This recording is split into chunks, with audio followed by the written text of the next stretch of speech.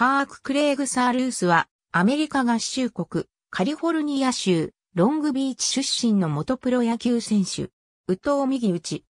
バレークリスチャン高等学校、カリフォルニア州立大学、フラトン校を経て、2001年6月5日、ドラフト3巡目で、ヒューストンアストロズから指名され、6月24日に契約した。プロ入り後は、永久のレキシントンレジェンズに配属され、22試合にリリーフ登板。防御率1.171勝1敗11、セーブホイップ0.82という成績を残した。また、投球イニングを超える三振を奪い、奪三振率11.7を記録した。プロ2年目の2002年6月18日、ミルウォーキーブルワーズ戦でメジャーデビューを果たした。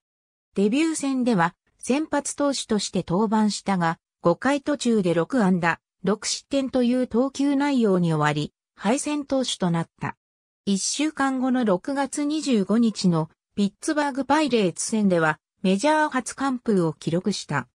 7月には3試合に登板して防御率1.773勝0敗という成績を記録し、同月のルーキーオブザマンスに選ばれた。この年は最終的には17試合に先発登板し、防御率6.016勝7敗、ホイップ1.49という成績を残した。なお、同年マイナーリーグでは、トリプル A 級のニューオーリンズ・ゼイファーズと AA 級のラウンドロックエクスプレスに所属。2チーム合算で17試合に登板し、防御率1.5412勝1敗、ホイップ0.84という成績を残した。2003年6月11日のニューヨークヤンキース戦でアストロズは6投手による系統でノーヒットノーランを達成したが、サールースも同試合で3番手として投げた。この年メジャーでは36試合に登板し、防御率4.932勝1敗、ホイップ1.246という成績を残した。また、マイナーでは、ニューオーリンズで13試合に登板し、防御率3.085勝0敗、ホイップ1.06を記録した。2004年は、アストロズの組織では、ニューオーリンズで2試合に先発登板し、防御率15.430勝2敗、ホイップ2.57を記録した。2004年4月17日、チャド・ハービルとのトレードでオークランドアスレティックスへ移籍した。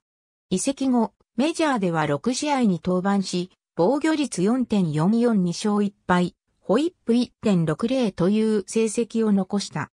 また、マイナーではトリプル A 級のサクラメントリバーキャッツで5試合に先発登板し、防御率3.542勝0敗、ホイップ1.38という成績だった。2005年はアスレティックスで29試合に登板し、うち27試合が先発投手としての登板だった。防御率4.17、自身初の2桁勝利となる10勝9敗、ホイップ1.240という成績を残した。また、高い守備力を活かして、ゴロを打たせるピッチングが持ち味の自分自身を再三助けた。2006年は第1回 WBC のオランダ代表の候補となったが、結局出場しなかった。レギュラーシーズンでは、16試合に先発登板、19試合にリリーフ登板し、防御率4.757勝7敗にセーブホイップ1.67という成績を残した。ちなみに、メジャーでセーブを記録したのは、この年のみだった。2007年1月23日にデイビッド・シェーファーとのトレードで、シンシナティレッツへ移籍した。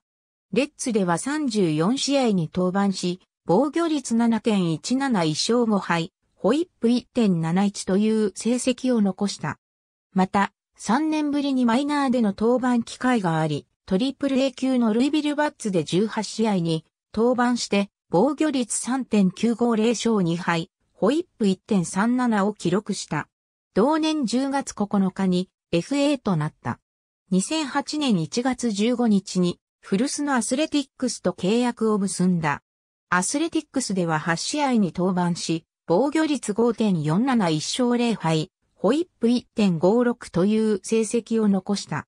また、マイナーではサクラメントで22試合に先発登板し、防御率4.229勝4敗、ホイップ1.32という成績を残した。10月級に FA となり、結果的にはこの年がサールースにとってのメジャーでのラストイヤーとなった。2009年1月13日にクリーブランドインディアンズと契約した。この年はトリプル A 級のコロンバスクリッパーズで15試合に先発登板し、防御率5.613勝10敗、ホイップ1.70という成績を残したが、メジャー昇格はできずじまいだった。オフの11月9日に FA となった。